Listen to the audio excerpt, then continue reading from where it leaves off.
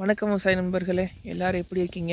நல்லா இருக்கிறீங்கன்னு நினைக்கிறேன். இன்றைக்கி வீடியோவில் நம்ம என்ன பார்க்க போகிறோம்னு பார்த்தீங்கன்னா அதாவது அக்ரிகல்ச்சர் ட்ரோன் வந்து எப்படி அசம்பிள் பண்ணுறது அசெம்பிள் பண்ணதுக்கப்புறம் வந்து ஃப்ளைட் கண்ட்ரோலரு அதுக்கப்புறம் பவர் ரெகுலேட்டரு பேட்ரி கனெக்ஷனு இது ஃபுல்லாக வந்து இதோட கனெக்ஷன் செட்டப் எல்லாம் ஃபுல்லாக வந்து பார்ப்போம்.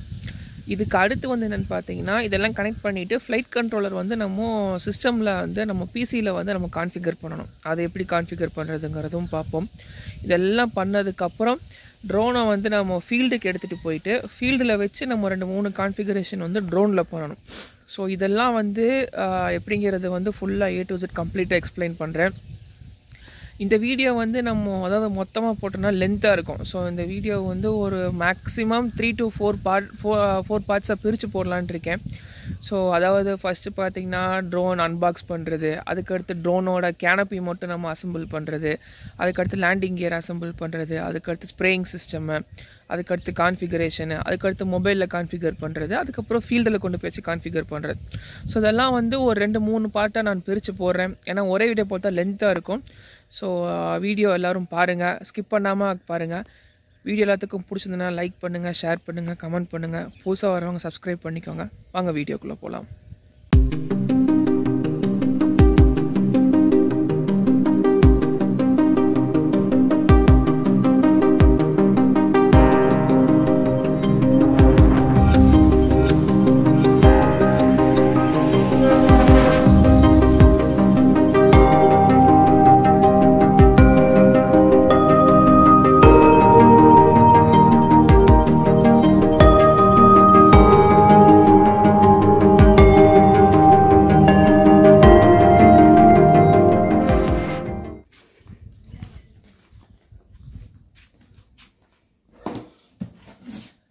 அதாவது பெரிய ட்ரோனை மொத்தத்துக்கே ஒரு மூணே பேக்கேஜில் வச்சு அடக்கியாச்சு.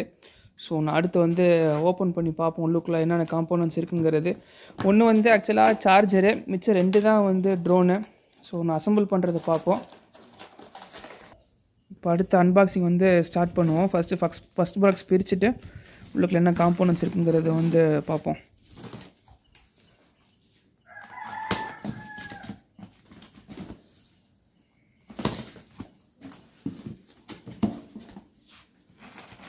Landing gear ஃபஸ்ட்டு வந்து landing gear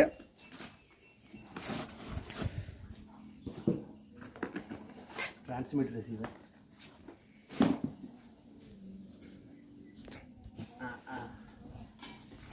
this is landing gear அதாவது bottom landing gear the transmitter and receiver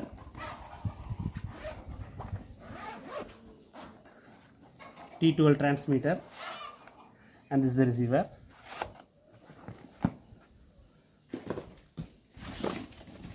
this is the canopy this is the base drone order base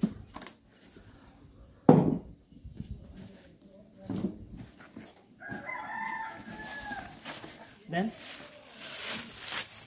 three hobby wing x6 plus rotor three clockwise and three anti-clockwise motors மொத்தத்துக்கு பார்த்தீங்கன்னா box கடைசியில் வந்து மிச்சம் இருக்கிறது வந்து motor. இந்த பாக்ஸில் விட தான் காம்போனன்ட்ஸு நான் அடுத்த பாக்ஸ் வந்து ஓப்பன் பண்ணுவோம்.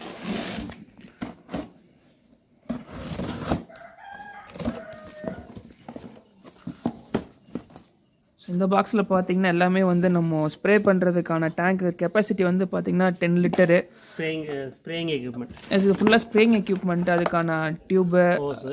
ஹோஸு அதுக்கப்புறம் ஃபில்டரு பம்ப் எல்லாம் வந்து இதில் மொத்தமாக இருக்குது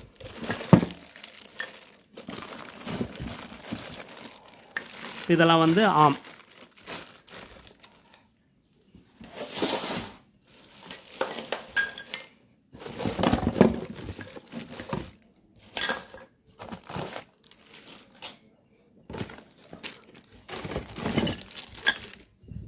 தென் இது வந்து five litres motor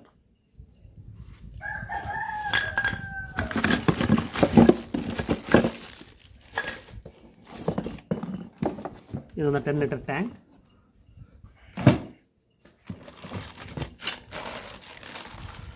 screw nut bolts accessories and this vertical landing gear இது வந்து டேங்க் ஃபில்டர்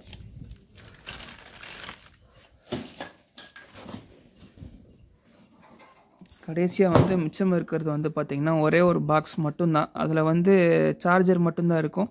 அது எப்படி இருக்குங்கிறது பார்ப்போம்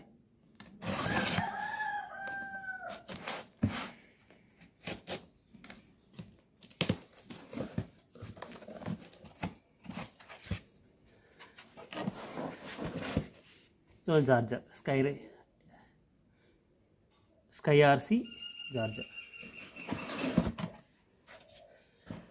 ஓகே அதுக்கான பவர் கேபிள்ஸ் எல்லாம் வந்து நம்ம தனித்தனியாக அன்பாக்சிங் பண்ணி வச்சாச்சு. ஸோ இந்த செக்மெண்ட் இதுக்கு இந்த பக்கம் பார்த்திங்கன்னா வந்து ஃப்ளை பண்ணுறதுக்கு அந்த பக்கம் வந்து ஃபுல்லாக வந்து பம்பிங் சிஸ்டமு ஃபஸ்ட் இப்போ பார்க்க போது என்னென்னு பார்த்தீங்கன்னா பேஸு இதில் வந்து ஒன்று வந்து ஜிபிஎஸ்ஸு இது வந்து ஆர்டிகே இது வந்து என்னென்னா இது ரிசீவரு அந்த பக்கம் இருக்கிறது வந்து பவர் ரெகுலேட்டர் ஸோ இதில் கூடவே நம்மளுக்கு வந்து பார்த்திங்கன்னா நைட் விஷனுக்கு கேமராவும் எல்இடியும் வந்துடும் இது வந்து என்னென்னு பார்த்தீங்கன்னா எதுவும் பேட்ரி கம்மியாச்சு இல்லை வேறு எதுவும் ப்ராப்ளம்னா நம்மளுக்கு இண்டிகேட் பண்ணுறதுக்கான எல்இடி இது வந்து மொத்தமே வந்து எல்லாமே வந்து நம்மளுக்கு பேஸ்லேயே செட் பண்ணிடுவோம் அடுத்து பார்க்க போது என்னென்னு பார்த்தீங்கன்னா இது வந்து ஃபஸ்ட் ஆர்ம் ஸோ இந்த ஆர்ம் வந்து டேரெக்டாக இதிலே வந்து கனெக்ட் பண்ணிடுவோம் இதுக்கு அடுத்து இருக்கிறது வந்து என்னென்னா ஃபோல்டபுள் ஆமை அது வந்து ஃபோல்டபுள் ஆமை என்னென்னா நம்ம வந்து மோட்டர் மாட்டிட்டு இது வந்து ஸ்டாக்னண்ட்டாக இருக்கும்.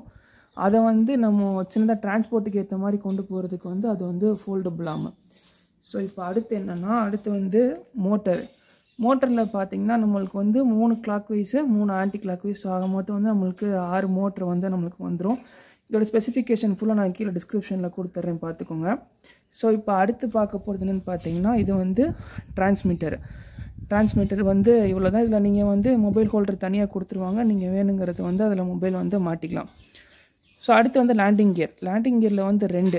ஒன்று வந்து ஹரிசான்டல் லேண்டிங் கியர் இன்னொன்று வந்து வெர்டிக்கல் லேண்டிங் கியரு அடுத்து வந்து என்னென்னு பார்த்தீங்கன்னா அடுத்து பார்க்க போகிறது வந்து ப்ரொப்பலர் ப்ரொப்பலர் வந்து மொத்தம் வந்து நம்மளுக்கு பன்னெண்டு வரும். ஸோ மொதல் இருக்கிற ஆறு பார்த்தீங்கன்னா ஒரு சைடு மிச்சம் இருக்கிற அதாவது ஒரு மோட்டருக்கு வந்து ரெண்டு ப்ரொப்பலர் ஆப்போசிட் சைடில் வரதுனால மொத்தம் வந்து நம்மளுக்கு பன்னெண்டு.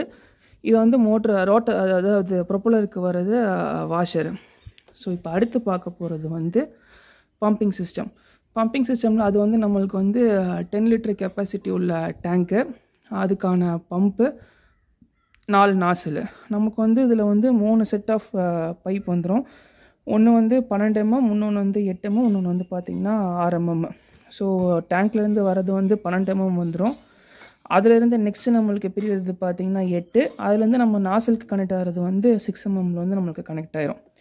ஸோ இதை நம்மளுக்கு வந்து அசம்பிள் பண்ணுறதுக்கு பார்த்திங்கன்னா மொத்தத்துக்கு மூணே மூணு ஆலன் கீ மட்டும்தான். ஒன்று வந்து டூ பாயிண்ட் ஃபைவ் இன்னொன்று வந்து த்ரீ இன்னொன்று ஃபோர் அப்புறம் தேவைப்பட்டதுன்னா சால்ட்ரிங் என்ன? நமக்கு அக்சசரிஸ் வந்து பார்த்திங்கன்னா பொறுத்த வரைக்கும் இந்த நாலு மட்டும்தான்.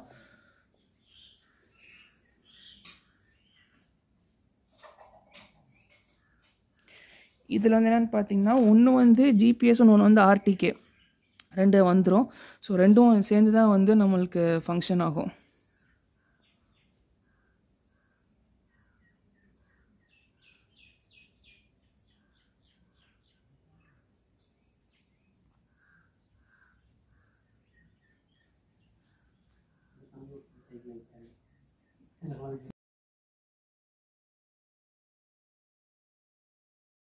ஸோ இப்போ நம்ம பார்க்க போகிறது வந்து பேஸில் இருக்கிற ஃப்ளைட் கண்ட்ரோல் வந்து பார்ப்போம். இது வந்து கே த்ரீ ஏ ப்ரோங்கிற மாடலு ஸோ இதில் வந்து நம்மளுக்கு பார்த்திங்கன்னா வந்து மொத்தம் எட்டு சேனல் கொடுத்துருக்காங்க. அதில் ஆட்டோ காப்டர் வரைக்கும் நம்ம யூஸ் பண்ணிக்கலாம். எல்லாத்துக்குமே நம்மளுக்கு தனித்தனி சேனல் வந்துடும் ஸோ இதிலே வந்து பவர் ஜிபிஎஸ் எல்எஃப்எஸ் பம்புக்கு வந்து தனித்தனி சேனல் இருக்குது ஸோ இது ஃப்ளைட் கண்ட்ரோலர் தான். அடுத்து பார்க்க போகிறது என்னென்னு பார்த்தீங்கன்னா நம்மளுக்கு வந்து ஜிபிஎஸ்ஸு ஆர்டிகே ரெண்டு வந்துடும் ஸோ மூணு பின்னல் மூணு பின் உள்ளது பார்த்தீங்கன்னா ஜிபிஎஸ்ஸு ஸோ இதில் பார்த்தீங்கன்னா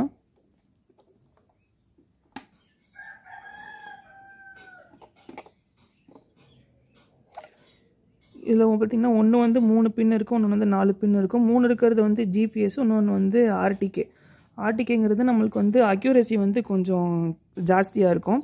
அடுத்து இது வந்து நம்மளுக்கு வந்து பவர் ரெகுலேட்டர் பேட்ரி நம்ம யூஸ் பண்ணுறது பார்த்திங்கன்னா அபோவ் uh, ஃபிஃப்டி வோல்ட் வந்து பேட்ரி கெப்பாசிட்டி ஸோ டேட்டா நம்ம கொடுக்க முடியாது. ஸோ பவர் ரெகுலேட் பண்ணி கொடுக்கறதுக்கு வந்து பார்த்திங்கன்னா அந்த பவர் ரெகுலேட்டர் வந்து நம்ம யூஸ் பண்ணுவோம்.